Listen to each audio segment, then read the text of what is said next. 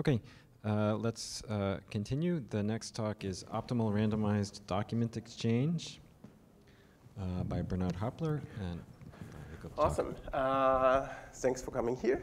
I'm super excited to present this work. Um, this is, uh, so the document exchange problem um, is a very simple, cute problem. Um, two parties have two strings that are somewhat similar. Okay, so I have a string, you have a string. Uh, they're different, but they're not, they differ only in a very small amount. Maybe I edited it a little bit, maybe you edited it a little bit, maybe somewhere else something got corrupted, who knows. We don't know what the difference are, but we know that we have two strings that are similar, and we know roughly how similar they are, right? So there's some kind of distance in these strings, and they're k-close, okay? So now I would like to send you my version of this string. I could just send it to you, but that's a huge string, huge amount of data. So strings are similar, that seems a big waste. So what we would like to do is um, sketch our string. So I'm going to take my string, I'm going to sketch it down to something very small, and I'm just going to send you the sketch. But I have no idea what the changes are, but I know roughly uh, how many changes there are. I'm going to send you the sketch, and then what we would like to have is that you can take the sketch, um, combine it with your string, and then there's some efficient procedure which outputs my string. Sounds pretty magical and cool and useful. Um, and so, yeah, so this is what we want to do. And um, the objective is mainly to minimize the sketch size. Well, actually, maybe there's two objectives. We want these uh, procedures, both the sketching and the recovery, we want those to be efficient, polynomial time, and um, we want the sketch to be small, right? Ideally as small as the number of the description of the number of changes, so the, the changes itself, which we don't know. Um, good, so there's two flavors of this, um, randomized and deterministic. Um, if we do it randomized, then we can just, in the sketching procedure, we can use some uh, private randomness. Maybe in the decoding, we can use some, uh, some randomness if it makes things faster. And we just want the recovery to um, succeed with sufficiently high probability, right, as high as possible. Good. Um, the distances that we can use here is basically any distance that you can um, come up with. The most interesting uh, distances that we look in here is kind of the classical Hamming distance, right? So num number of changes of, uh, of symbols. And actually, all of the results are mostly interesting for the edit distance. So um, how many edits in terms of like insertion, deletions, um, do I need to transform x into y, uh, the classical edit distance. And we all know it's uh, more general, um, combinatorially a good bit trickier and harder, and that makes this whole thing more interesting. Good. Um, a very related problem is error correcting codes. We all know error correcting codes, right? So we, I have a string, I want to send it over a channel. So there's gonna be some corruptions. So I encode it into a slightly larger string, then over, you have, now we have two related strings, the code word and some corrupted version of the code word, and we want to recover the code word from the, um, from the, or the original string from uh, the corrupted code word. And um, maybe if we look at systematic error correcting codes, it's a little bit clear what really the, the, the, relationship is between. So systematic error correcting codes have the nice properties that the encoding is basically the string itself plus a little bit of extra redundancy, right? So the first part is always the string itself. And for example, any linear code, we can easily make it systematic, no problem. Good, and so really here, also what, I, what am I trying to minimize? Usually I want this computation efficient, and I want uh, to maximize the rate, which really says I want to minimize the amount of redundancy given the amount of errors that I want to tolerate.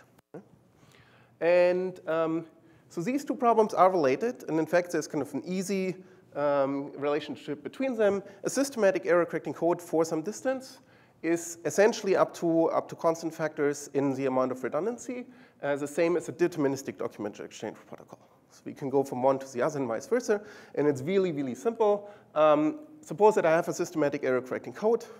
What am I going to do to sketch the document um, for, for this distance? I'm just going to encode it. I'm going to throw away the systematic part, and I'm going to take as a sketch only the, uh, uh, only the non-redundant, as a redundant part, right? The non-systematic part.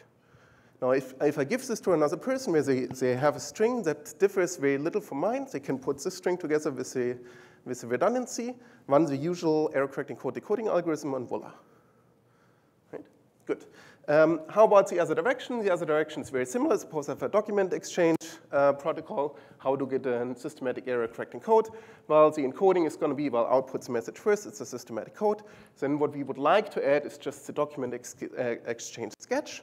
But if I send this over, the sketch might get corrupted and be in trouble. So what, am what am I going to do? I'm just going to take the sketch part, only this very, very small part instead of the whole, uh, the whole thing. And I'm going to encode it with a simple error correcting code, which might blow things up by a constant factor. But since we're only encoding a small part, it doesn't really matter. And this works. Good. Um, applications um, are, there are many. Um, you can imagine file synchronization like the Linux tool rsync does exactly this. You have uh, some, docu uh, some documents, some large amount of files, some folder here, uh, similar version here. You want to you know, update them over, the, over a slow line. Um, this does exactly this. If you want to maintain a database where changes are made everywhere, you want to update things, uh, version control has some kind of things like this in it. Caching, usually, right, you, uh, you pull, pull, a website, you, uh, you have a hash that tells you, if I later request, I just check the hash, are the two websites that I'm requesting the same? If there is the same, I'm not going to pull it again. Um, how about you uh, instead use uh, document exchange sketch? Now, if the two websites differ very little, for example, they have a timer there, a number of um, visitors there, and that's the only thing that changed, you can recover the original website instead of having to pull it. Right? So um, error correcting codes have plenty of um, applications as well, and here, in particular for insertion deletions, discrete DNA uh, sequences, if you do a DNA storage, any kind of channel where you have synchronization errors is kind of where we want to use error correcting codes for insertion and deletions. And kind of one cool thing to point out is that because document exchange is really only one way, right? I prepare the sketch, I deposit it somewhere, I go away, and you later pick it up. We can do document exchange with multiple people at the same time, right? So some kind of server who has the up-to-date version can create a sketch, and lots of people can come who have different versions of this file. Maybe the first 1% uh, was edited here, somebody else has some different edits in a different place. Whatever, they all can come, pick up the sketch, and recover the up-to-date version. Um, good. Now, um, what do we know? Um, existentially, everything is pretty simple. I mean, how many bits do I need to describe k changes in a string of length n? Um, k log n. Okay? So k log n is necessary, and it's also sufficient, and that's true for both Hamming and for edit distance. Um, and it's also true if you ask about a deterministic document exchange protocol, and this was first kind of proven by uh, Orlitsky some 28 years ago. And then the big question was, can we have something that does this computationally efficiently?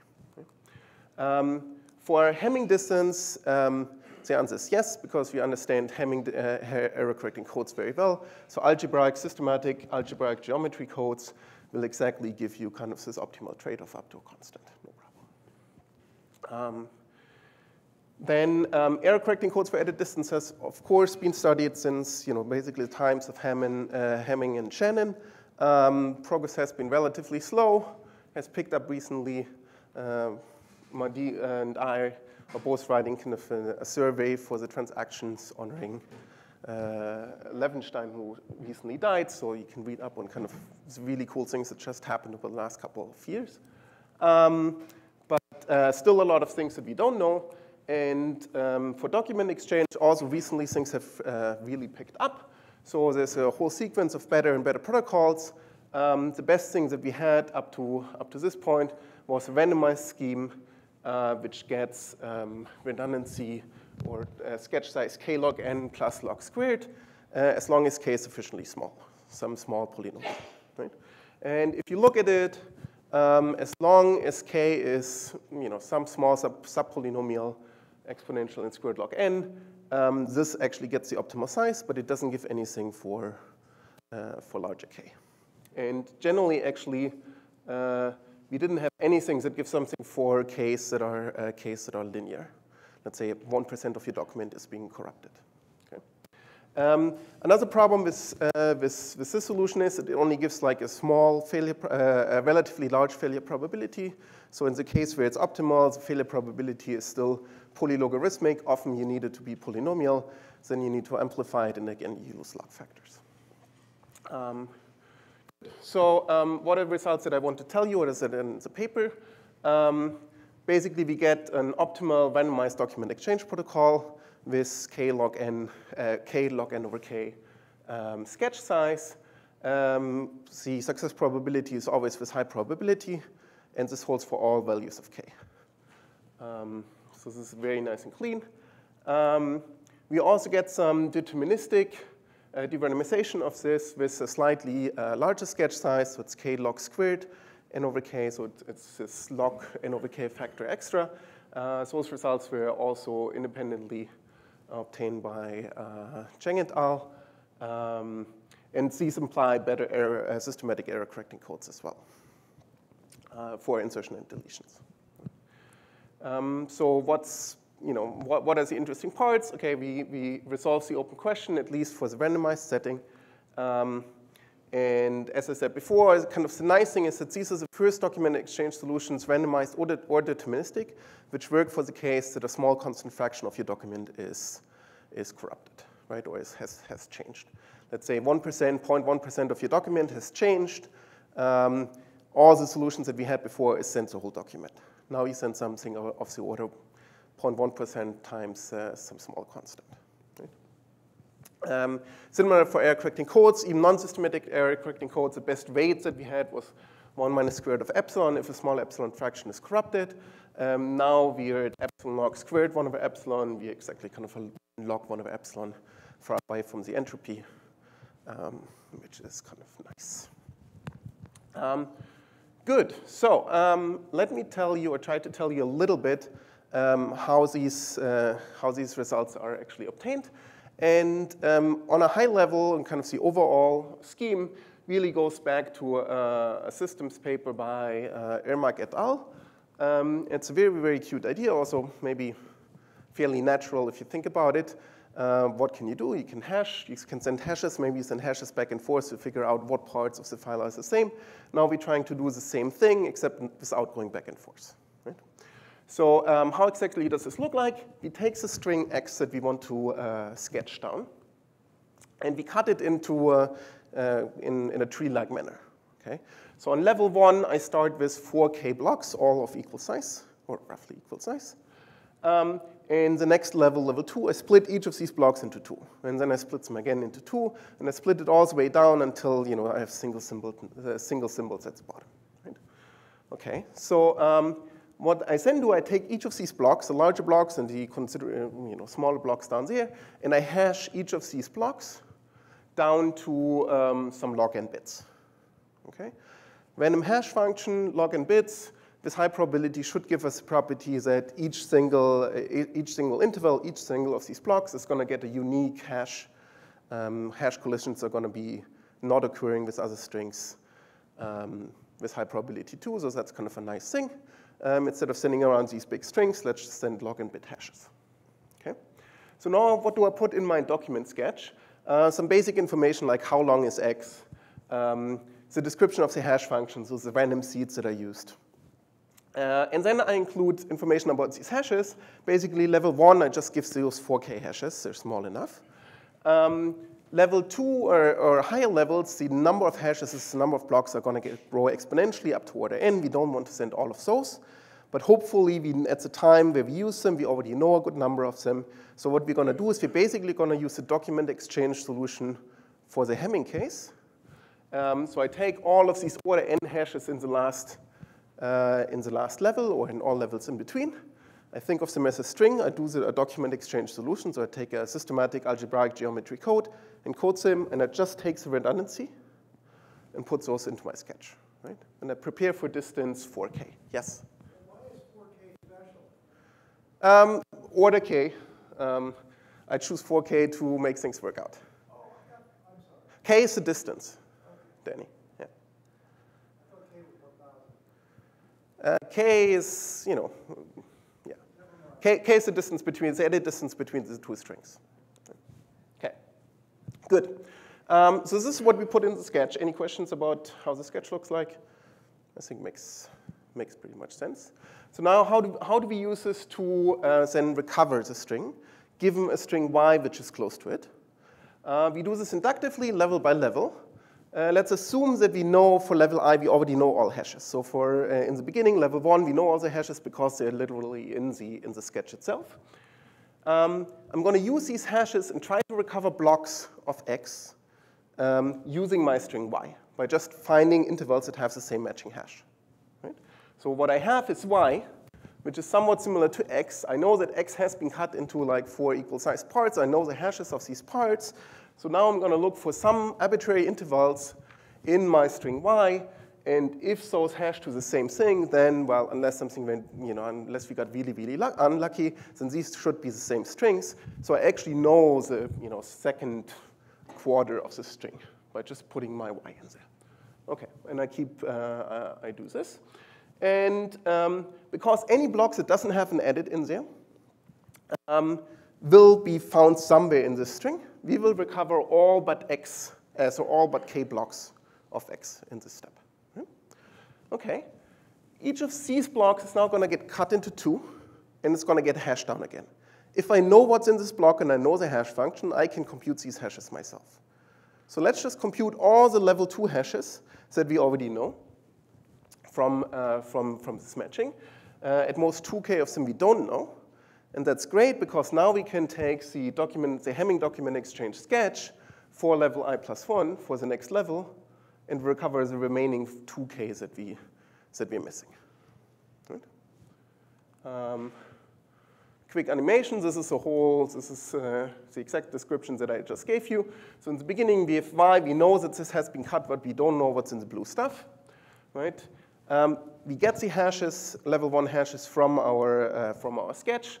We find corresponding parts in y, we fill in those, only k of them are remaining. We can compute the hashes for the next level, um, at least for the parts where we know. For the parts where we don't, we don't, but then we can use uh, the uh, document exchange on, in the Hamming world uh, to make this work and keep going, right? So find again a matching to y until we've basically recovered the whole string. Awesome. Um, good, so how, um, how large is the sketch? Well, uh, really what matters is the number of levels uh, times the, the, size of the uh, hashes that we, or size of the information per level. How many levels do we have? We start with k blocks, we end up with n blocks. Uh, we double the number of blocks in each round, so there's log n over k levels. Um, and in each round, we basically send, um, want to recover 4k hashes, which are right now of log n size. So 4k times log n is basically what's dominating here, and also what's kind of the, the bottleneck for, uh, for this whole thing, right? So if this were a constant, we would be really happy, um, but right now it's a log n. Okay.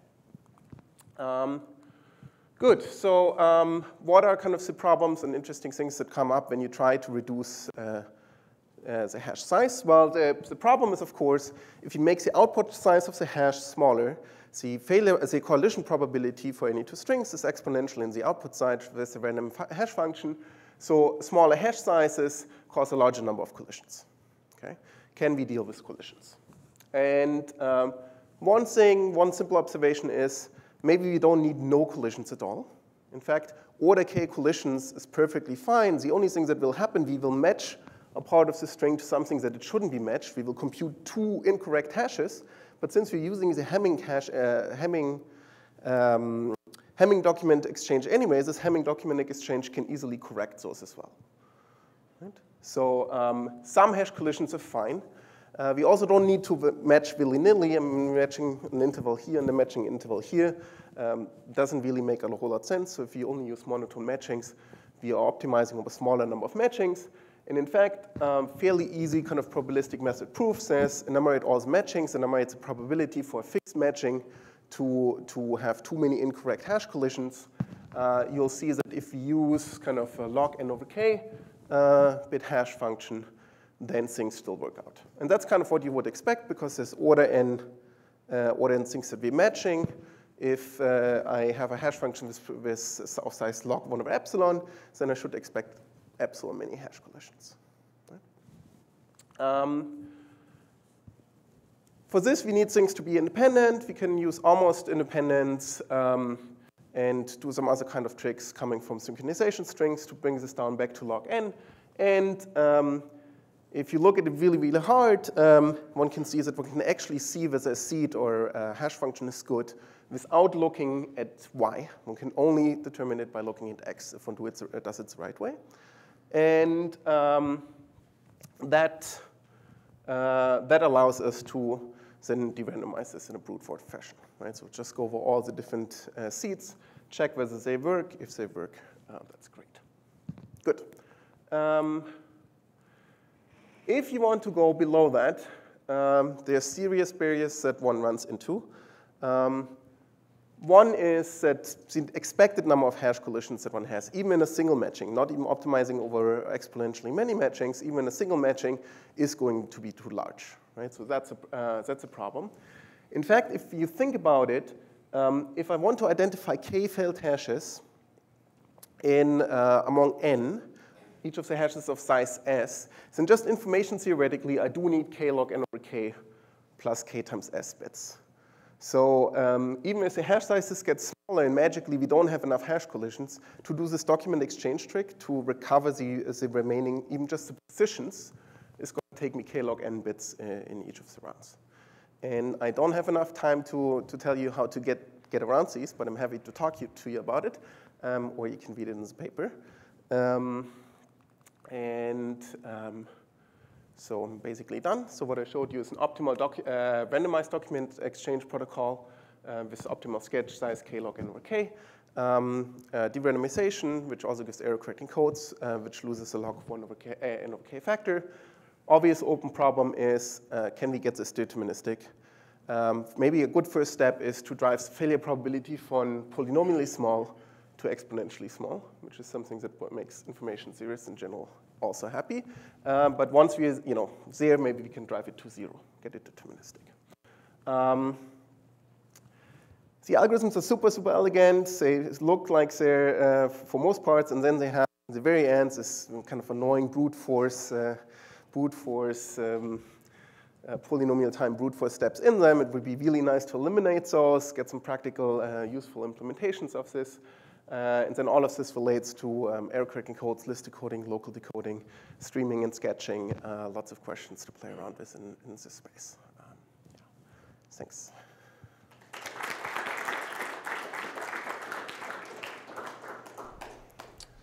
Are there questions? Yeah.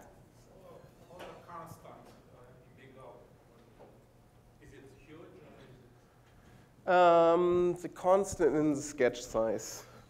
I, I don't uh, know. I don't think it has to be huge if one really tries to optimize it. But then,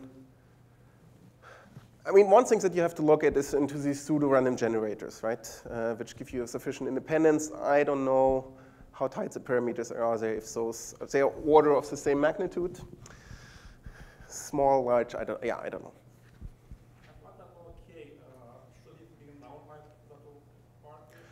It kind of has to be known. Uh, I mean, at least up to some uh, up to order, because uh, otherwise, like if I send you too little information, you clearly cannot recover. Uh, and in fact, just kind of by by the fact that there might be collisions otherwise, I mean, since the number of possibilities is too large, um, it, the document uh, exchange sketch might have to look like the distance is small, even so it's not. I, at least if you're talking adversarially. If you talk randomly, then no. Then you can just add a hash in the end and see if it worked. If you want it deterministically, then for sure. Yeah. Any other questions? Yeah.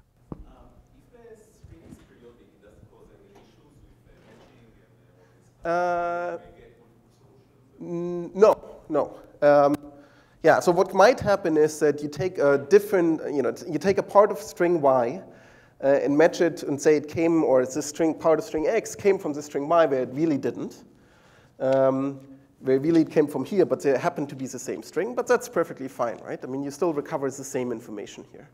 Uh, and since you use hashes to check um, whether the strings are the same, or kind of you declare success if you recovered it correctly, it actually makes things easier. Okay, uh, let's thank the speaker again.